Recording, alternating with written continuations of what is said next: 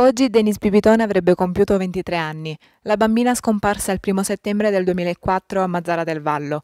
A scriverle una lettera è proprio il padre, Pietro Pulizzi. Comincia così. Tesoro, in questi lunghi anni non c'è stato un giorno in cui il mio pensiero e la mia vita non siano state dedicate a te. Il compleanno dei propri figli dovrebbe essere un'occasione in cui la famiglia si riunisce gioiendo di quella ricorrenza, ma per me, soprattutto ogni 26 di ottobre, non è stato così. Gli anni passano e anche in fretta, e a volte mi sento solo, svuotato dal mio essere. Vorrei che la mia vita non fosse andata così. Tutto quello che avevo progettato e desiderato è stato calpestato dalla crudeltà umana.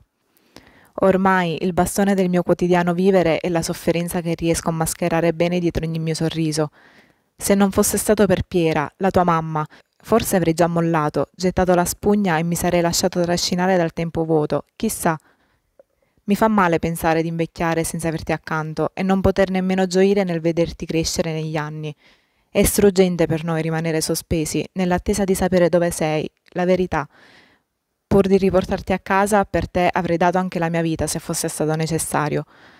Le mie parole, forse buttate al vento, le lancio all'interno di una bottiglia che getto nella burrasca del mio mare. Spero possa raggiungerti ovunque tu sia, figlia adorata, perché tu esisti, non so dove, ma esisti e prima o poi ti troveremo. Sappi che finché avremo vita, mamma e papà e tutti coloro che ti vogliono bene, non smetteremo mai di cercarti. Noi non molliamo. Alla mia dolcissima rondinella, il tuo papà Pietro.